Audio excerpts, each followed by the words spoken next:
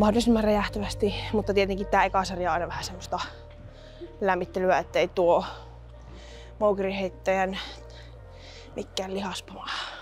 En mä tiedä, miksi mä koko ajan haukun moukiriheittäjät. Me ollaan oikeasti ihan sika hyvä, hyvässä fyysisessä kunnossa. Musta tuntuu, että nykyään niin naismoukiriheittäjät käyttää sitä vähän niin semmoisena itse ironina ja me nauretaan sille, että me ollaan muka mörssäreitä. Vaikka ei kyllä hirmun paksut viikset ainakaan kasva. Pitäisi tsekata aina se kaurapuuro aamulla, että ei kukaan laittanut muuta sekkaa. Tää on siis 4 kiloinen kuula, eli saman painon kuin moukri. Ja tätä tehdään pelkästään, että niitä tehoja tulisi. En niinku, tää ei ole mitään kuulan työntöä tai mitään, tää on kuulaheittoja. Ja näillä haetaan tehoja. Niin pikajuoksijat kuin hyppäjät ja kaikki hakee myös.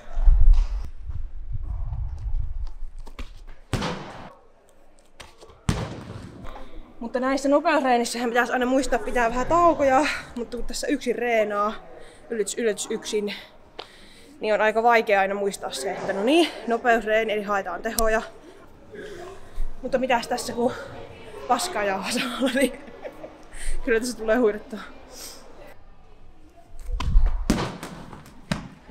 Eli näitä niinku, tämmöisiä oikeasti pelkästään nopeus niin näitä on aina peruskuntokaudella kerran viikossa, mutta harvoin edes kesällä. Mutta koska nyt ei ole tällä viikolla kisoja, niin tehdään vähän niin kuin sitten nopeusreeni erikseen. Voimaa voi olla vaikka pienessä kylässä ihmisessä, mutta jos, jos et sä saa niin kuin siirrettyä sitä heittoihin, eli siihen tekniikkaan, niin ei siitä ole mitään hyötyä. Eli ei ole tärkeää se, että sä itse pyörit nopeasti ringissä, vaan se, että se väline pyörii. Eli saat niinku kiihytettyä sitä välinettä. Ja tässä sitä vähän niinku harjoitellaan.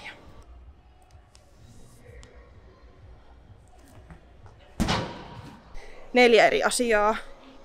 Se tarkoittaa punttia, eli voimaa, heittoa, eli tekniikkaa, nopeutta, eli pikavoimaa, ja sitten verkkaa, eli aerobia. Mikä on lemppari? Totta kai 10 kilometrin juoksu. Miltä mä näytän? Siis puntti on ehdottomasti lemppari. Et moukaria on kiva heittää, tietenkin emme sitä heittäisi kilpaa, jos se ei olisi kivaa, mutta punttireeneissä saa aina eniten niin kuin irti itsestään, että se endorfiini taso on korkeimmillaan sen jälkeen, niin jotenkin se on semmoinen. Ja siis kyllähän nyt pitkän hiihtolenkin jälkeenkin tuntuu hyvälle, mutta kyllähän se niinku juoksu on. Et jos pitäisi lähteä oikeasti 10 kilometriä vain juoksemaan, niin pitäisi olla aika helvetin hyvä podcast, mitä kuunnella.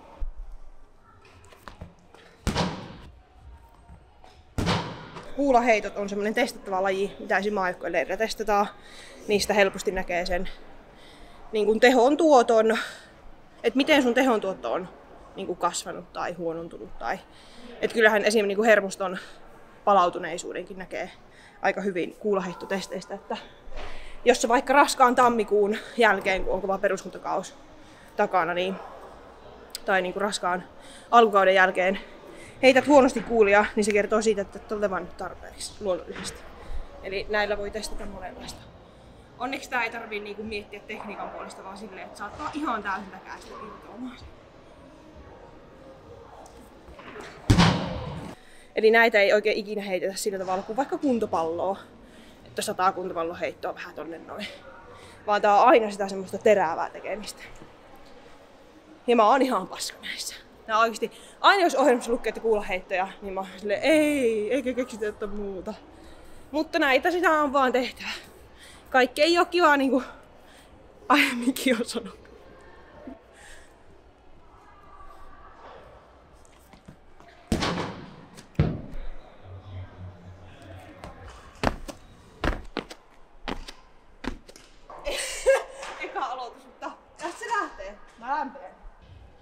Tuntuu sen verran painavalle, että hyppyjä kaksi kertaa neljä kertaa neljä aitaa. Piru vie, hyppäsin kaksi aitaa enemmän. Ilman kun tuntui niin raskaan.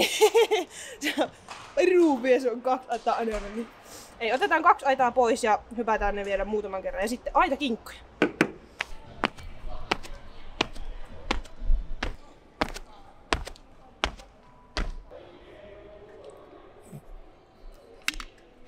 Tunnen itteni niin hirmu urheilijaksi nyt, varsinkin heittäjäksi, kun tehdä aitakinkkoja. Ei, mutta siis mä oon ihan best. Näistä mä tykkään. Jos kuulan heitoista mä en tykännyt, niin näistä aitakinkoista mä tykkään.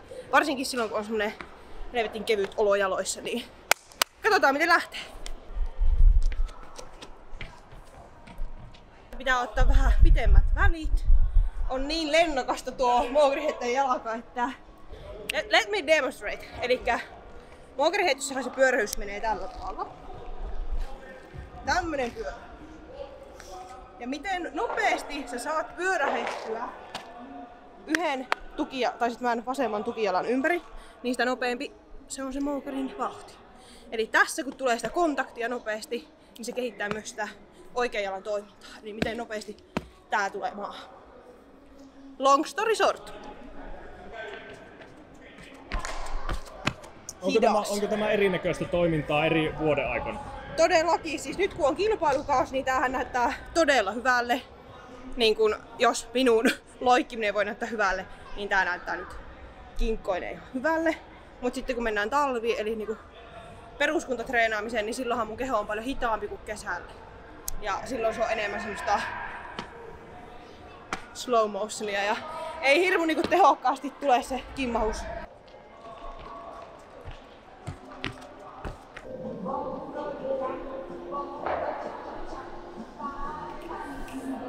Ihan pienenä, niin semmonen yksi kylän mies tuli katsomaan mun heittoreenejä. Sitten se sanoi, että Kiiras on semmonen homma, että kun sä oot arvokilpailussa, niin pitää osata keskittyä. Ihan sama vaikka alastun mies juoksu siinä heitto, heittorin vieressä, niin sinähän keskityt heittoon. Niin mun mielestä tuo on ollut oikeasti ehkä yksi niinku tärkeimmistä opetuksista. Vaikka se nauratti silloin pikkukiira, että hihihi, alaston mies. No naurattais kyllä. naurattais vielä nytkin, mutta tota, just se idea, että miten sun pitää niinku pystyä keskittymään siihen suoritukseen. Ja musta tuntuu, että se on yksi ratkaisevin tekijä esim. kilpailuissa menestymiseen, että sä pystyt keskittymään siihen omaan hommaan. Vaikka muut heittäis ihan saatanan hyvin ympärillä, niin sä vaan vedät sitä omaa juttua. Tai sitten, että tuolla nyt voimistelijat vetää pongalla, pongot sakatsa, niin sit mä, mä keskityn tähän, että mun, mä en murjo mun nilkkoja tai näissä ö, kinkoissa on tosi tärkeää, että niin lantio pysyy että mä saan pakaran aktivoitua ajo- ajoissa, että mun niinku lantio ei kippaa minnekään suuntaan. Sama se on heitossakin. Jos 200 kiloa vetää täältä, niin mä en voi niinku venyttää itteeni mihinkään suuntaan tai revähtää paikat. Eli tässä harjoitellaan myös sitä.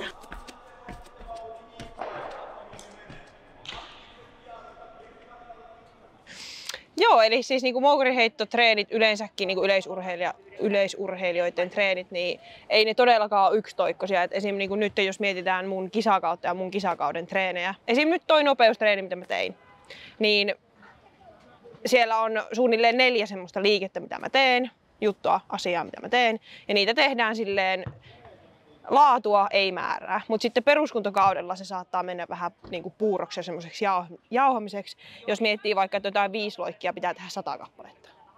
Mutta nyt jos mä tekisin viisi loikkia kilpailukaudella, niin mä tekisin todennäköisesti niitä 25 yhteensä. Mutta mä tekisin ne automaattisesti kovimmilla tehoilla, koska mun keho on kovemmassa kunnossa.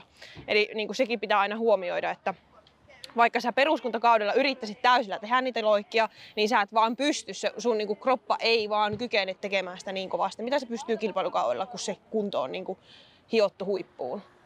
Niin, eipä silleen, jos miettii nytkin tota mun nopeusreeniä, niin mä tein vedot, sit mä heitin kuulia, 8 plus 8 kuulia, sit mä tein vähän aitahyppyjä ja aitakinkkoja. Eli siinä oli niinku neljä juttua, mutta treenissä kesti semmoinen tunti 15 minuuttia ja mulla on oikeasti keho nyt aika väsynyt, koska mä tein ne niin tehoilla. Ja muistin pitää palautukset. Peruskuntokaudelle, jos mä teen vaikka rinnalle vetoa, niin niitä sarjoja saattaa olla vaikka kahdeksan, mutta mä teen niitä toistoja aina suunnilleen kolmesta neljää. Että jotain rinnalle vetoa, niin ennen vanhaa niitä pumpattiin kahdeksan ja kymmentä kappaletta rinnalle vetoa ja näin. Ehkä joskus pystyy jossain crossfit-omaisessa treenissä tekemään nykyäänkin, mutta jos mä haluan oikeasti saada mun lajiin niitä tehoja, niin turhaan mä teen niitä niin paljon, koska se ei kasvata sitä niin kuin voimaa mun lihaksistossa, missä pitää se niin kuin kaipaa eniten toi moogriheitto. Sateenkaari, kato. Siellä se on. Päättyyköhän se nyt tuota, öö, Viitaniemen heittohäkki? Ihan hyvin voisi päättyä, mietitään, että ollaan hipposallilla. Kyllä se sateenkaari näköjään seuraa meitä treenistä treeniin. Punttireenit on niinku peruskuntakaudella semmosia kaksi ja tuntisia. Ja siellä tehdään niinku semmoinen kaksi-kolme pääliikettä ja sitten niitä oheisia, lajiomaisia liikkeitä tosi paljon. Että moogriheittä treenaa tosi paljon keskikroppaa ja kylkiä ja niitä kyllä niinku saa. Niitä ei ikinä voi tehdä liikaa niin sanotusti, että. Ensi kerralla puntille, voimatreeniä, kyllä. Siellä tehdään todennäköisesti rinnalle vetoa tai tempausta, aina jompikumpi tuommoinen painonnostoliike. Sitten tehdään jonkinlaista kyykkyä. Se on joko takakyykkyä, syvää kyykkyä, puolikyykkyä. Että niin takakyykkyä tehdään monissa eri versioissa, esim. moukerikyykyssä. Siinä jalat on vähän eri tavalla. Sitten tehdään yhden jalan kyykkyä, ja sitten tehdään etukyykkyä, sitten tehdään kuminauhokyykkyjä, että niin tosi paljon erilaisia variaatioita, että ei kyllä niin tylsäksi ei pääse tulemaan mun treenit, että tosi monipuolisesti kyllä tehdään. Ja sitten kun mä oon pienestä asti tehnyt ja mulla on ollut suunnilleen 8-9 luokalla aloittanut punttitreenit silleen tangolla, niin se tekniikka on varmentanut aika paljon ja varsinkin nyt niin kuin punttivalmentaja avulla niin on saanut hiottua kaikki painonnostoliikkeetkin niin kuin silleen turvalliseksi, että 100 kiloa rinnallekin niin tulee hyvännäköisesti eikä silleen, että selkä särkyy. Sitä lähdetään ensi Kyllä, mahtavaa. Kiitos. Kiitos.